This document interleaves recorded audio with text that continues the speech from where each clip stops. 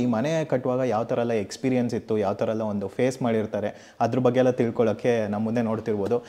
ಕ್ಲೈಂಟೇ ಇದ್ದಾರೆ ಅಂದರೆ ಅವ್ರ ಕಸ್ಟಮರೇ ಇದ್ದಾರೆ. ಅವ್ರದ್ದೇ ಇವರೇ ಆ್ಯಕ್ಚುಲಿ ಓನರ್ ಅಂತ ಹೇಳ್ಬೋದು. ನಮಸ್ಕಾರ ಸರ್ ನಮಸ್ಕಾರ. ಸೊ ಇವ್ರು ಆ್ಯಕ್ಚುಲಿ ಓಲ್ ಫ್ಯಾಮಿಲಿ ಇಲ್ಲೇ ಇದ್ದಾರೆ. ಸೊ ಇವ್ರ ಹತ್ರ ಕೇಳೋಣ ಯಾವ್ದ್ರ ಹೆಂಗೆ ತಿಳ್ಕೊಳ್ಳೋಣ ಏನೇನಂತ ಡೀಟೇಲ್ಸ್ ಎಲ್ಲನೂ ತಿಳ್ಕೊಳ್ಳೋಣ. ಸರ್ ನಿಮ್ಮ ಹೆಸರು?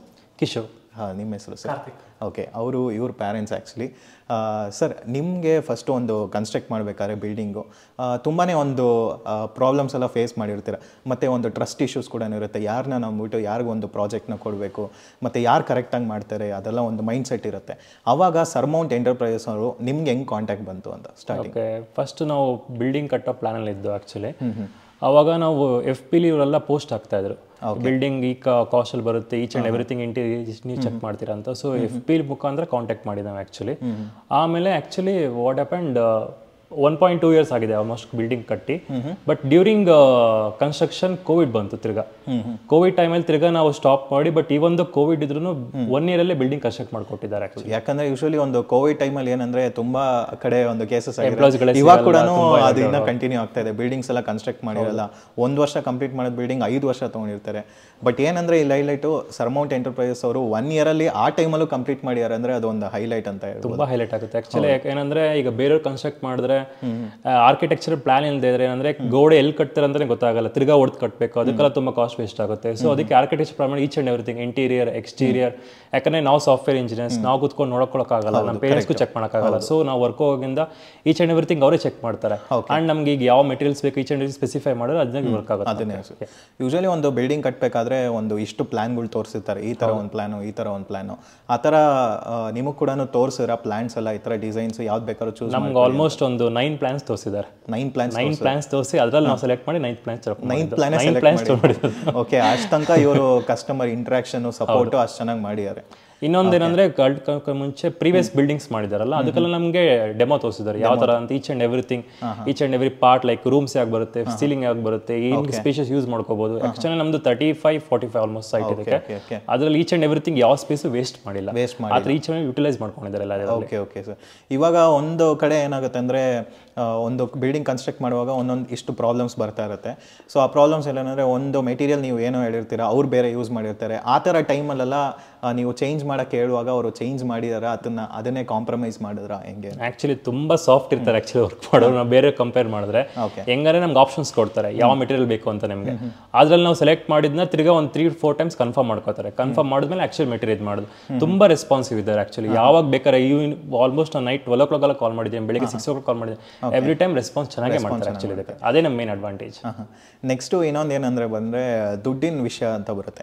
ಆ, ಏನಂದರೆ ಯೂಶ್ವಲಿ ಒಂದು ಸ್ಟಾರ್ಟಿಂಗ್ ಒಂದು ಕನ್ಸ್ಟ್ರಕ್ಟ್ ಮಾಡಬೇಕಾದ್ರೆ ಇಷ್ಟು ನೀವು ದುಡ್ಡು ಪೇ ಮಾಡಲೇಬೇಕು ಫುಲ್ ಅಮೌಂಟ್ ಪೇ ಮಾಡಬೇಕು ಅಂತ ಹೇಳ್ಬಿಟ್ಟು ಒಂದೊಂದು ಕಡೆ ಏನು ಮಾಡ್ತಾರೆ ಅಂದರೆ ಆ ಮ ದುಡ್ಡನ್ನೆಲ್ಲ ತೊಗೊಂಡು ವರ್ಕ್ನ ಸ್ಟಾಪ್ ಮಾಡ್ಬಿಟ್ಟು ಬೇರೆ ಕಡೆ ಹೋಗ್ತಾರೆ ರೆಸ್ಪಾನ್ಸ್ ಎಲ್ಲ ಮಾಡಲ್ಲ. ಆ ಟೈಮಲ್ಲಿ ಇವ್ರದ್ದು ಈ ಥರ ವಿಷಯ ಏನಾದರೂ ಆಗಿತ್ತಾ ಅಂತ?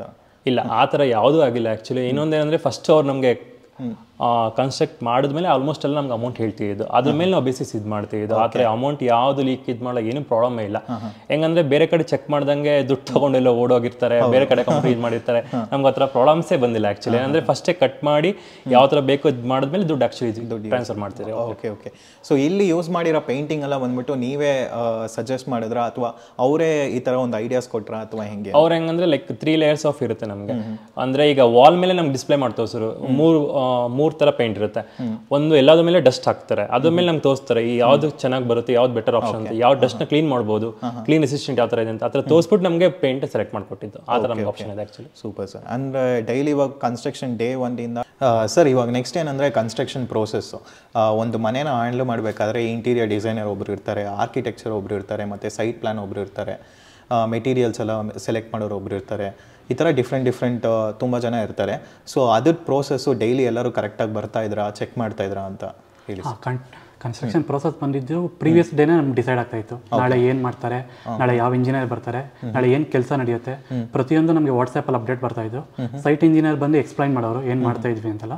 ಮತ್ತೆ ಇಂಟೀರಿಯರ್ ಟೀಮು ಅಷ್ಟೇ ಬಂದು ಮುಂಚೆನೇ ಹೇಳಿ ಡಿಸೈನ್ ಕಾನ್ಸೆಪ್ಟ್ ನಮಗೆ ಫಿಕ್ಸ್ ಆದ್ರೆ ಮಾತ್ರ ಪ್ರೊಸೆಸ್ ಸ್ಟಾರ್ಟ್ ಮಾಡ್ತಾರೆ ಪ್ರೊಸೆಸ್ ಸ್ಟಾರ್ಟ್ ಮಾಡ್ತಾ ಇದ್ರು. ಮತ್ತೆ ಸರ್ಮೌಂಟ್ ಎಂಟರ್ಪ್ರೈಸಸ್ ಇನ್ನೊಂದು ಏನಂದ್ರೆ ಅವರು ಡೈಲಿ ಕೂಡ ವಾಟ್ಸಪ್ಪಲ್ಲಿ ಡೀಟೇಲ್ಸ್ ಎಲ್ಲ ಕಳಿಸ್ತಾರೆ ಅಪ್ಡೇಟ್ಸ್ ಎಲ್ಲ ಕಳಿಸ್ತಾರೆ ಆ ಥರ ನಿಮಗೂ ಕಳಿಸ್ತಾ ಇದ್ರ ಹಾಂ ಡೈಲಿ ನಮಗೆ ಎಲ್ಲ ಏನೇ ಕಾನ್ಸೆಪ್ಟ್ ಕೇಳಿದ್ರು ಅದೆಲ್ಲ ಡಿಸೈನ್ ಮಾಡಿ ವಾಟ್ಸಪ್ ನಮ್ಮ ಡೀಟೇಲ್ಸ್ ಆಗಿ ಕಳಿಸಿ ನಾವು ಅಪ್ರೂವ್ ಆದರೆ ಮಾತ್ರ ನೆಕ್ಸ್ಟ್ ಪ್ರೋಸೆಸ್ ಸ್ಟಾರ್ಟ್ ಮಾಡಿ ನೆಕ್ಸ್ಟ್ ಪ್ರೋಸೆಸ್ ಸ್ಟಾರ್ಟ್ ಮಾಡ್ತಾ ಇದ್ರು ನೆಕ್ಸ್ಟ್ ಮೆಟೀರಿಯಲ್ಸ್ ಎಲ್ಲ ಇವಾಗ ಯೂಸ್ ಮಾಡಬೇಕಾದ್ರೆ ಒಂದು ಕನ್ಸ್ಟ್ರಕ್ಷನ್ ಕಂಪನಿಲಿ ಮೆಟೀರಿಯಲ್ಸ್ ಎಲ್ಲ ಕಾಂಪ್ರಮೈಸ್ ಆಗೋದು ಆ ಥರ ಎಲ್ಲ ಇರುತ್ತೆ. ಬಟ್ ಇವ್ರದ್ದು ಯಾವ ಥರ ಇತ್ತು ಅಂತ ಮೆಟೀರಿಯಲ್ಸ್ ಮೆಟೀರಿಯಲ್ಸ್ ಅಲ್ಲಿ ಯಾವುದೇ ಕಾರಣಕ್ಕೂ ಕಾಂಪ್ರಮೈಸ್ ಆಗ್ತಿರಲಿಲ್ಲ ಯಾಕಂದರೆ ಫಸ್ಟ್ ನಮ್ಮ ಕಸ್ಟಮರ್ನೇ ಅವ್ರು ಫಸ್ಟ್ ಪ್ರಿಫರೆನ್ಸ್ ತಗೊಂತಾ ಸೆಲೆಕ್ಟ್ ಮಾಡೋಕ್ಕಿಂತ ಮುಂಚೆ ನಮ್ಮನ್ನೇ ಕರ್ಕೊಂಡೋಗಿ ತೋರಿಸ್ತಾ ಇದ್ರು. ಕಾಸ್ಟ್ ವೈಸ್ ಬೇರೆ ಬೇರೆ ಕಡೆ ಅವರೇ ಆಪ್ಷನ್ಸ್ ಕೊಡ್ತಾ ಇದ್ರು.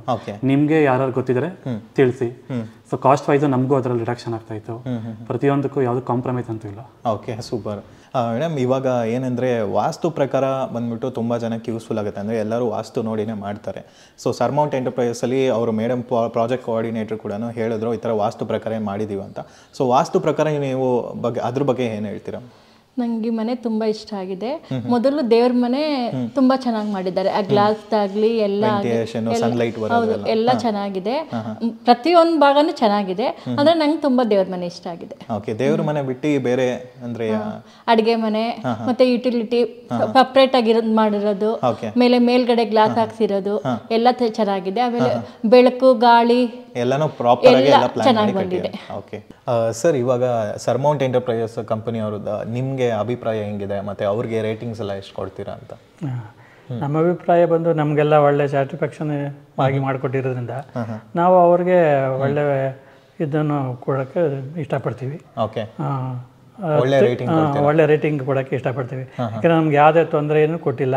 ಮೆಟೀರಿಯಲ್ದಾಗಲಿ ಯಾವುದೇ ಆಗಲಿ ಒಂದು ಇನ್ಫಾರ್ಮ್ ಮಾಡಿ ಎಲ್ಲ ಮಾಡೇ ಮಾಡೋದ್ರಿಂದ ತೃಪ್ತಿ ಆಗಿದ್ವಿ ನಾವು ವೆರಿ ಸ್ಯಾಟಿಸ್ಫ್ಯಾಕ್ಷನ್ ಹಾಗೆ ನಮಗೆ ತೃಪ್ತಿ ಇರೋದ್ರಿಂದ ನಮಗೆ ಅವ್ರಿಗೆ ಓಕೆ ಸರ್ ಫುಲ್ಲು ಇದು ಕೊಡೋಕ್ಕೆ ಇಷ್ಟಪಡ್ತೀವಿ ಸರ್ ಸೂಪರ್ ಫುಲ್ ರೇಟಿಂಗ್ ಕೊಡ್ತೀನಿ ಅಂತ ಕೂಡ ಸರ್ ಹೇಳಿದ್ದಾರೆ. ನೆಕ್ಸ್ಟ್ ಏನಂದರೆ ಸರ್ ಇವಾಗ ಮನೆಯೆಲ್ಲ ಕಂಪ್ಲೀಟ್ ಆಗುತ್ತೆ. ನೆಕ್ಸ್ಟ್ ವಿಷಯ ಏನಂದರೆ ಗೃಹ ಪ್ರವೇಶ ಮಾಡೋದು. ಗೃಹ ಪ್ರವೇಶಕ್ಕೆ ನಿಮ್ಮ ಫ್ಯಾಮಿಲಿ ಫ್ರೆಂಡ್ಸ್ ಎಲ್ಲನೂ ಕರೆದಿರ್ತೀರಾ? ಅವ್ರು ಈ ಮನೆ ನೋಡ್ಬಿಟ್ಟು ಏನಂದ್ರು ಅದ್ರ ಬಗ್ಗೆ ಸ್ವಲ್ಪ ಹೇಳಿ ರಿಲೇಟಿವ್ಸು ಬಂದಿದ್ದರು ಒಳ್ಳೆ ಇದು ಮಾ ಡ್ರಾಯಿಂಗಿಗೆಲ್ಲ ಕೊಟ್ಟು ಇಂಜಿನಿಯರ್ ಕಾಂಟ್ಯಾಕ್ಟ್ ಮಾಡಿ ಒಳ್ಳೆ ಮಾಡಿದ್ದಾರೆ ಅಂತ ಹೇಳಿದ್ರು. ಮತ್ತು ಅದ್ರ ಪಕ್ಕದಲ್ಲಿ ಸಂಬಂಧಿಕರು ಅದಲ್ದೇ ಫ್ರೆಂಡ್ಸ್ಗಳು ಕೆಲವರು ಬರ್ತಾರೆ.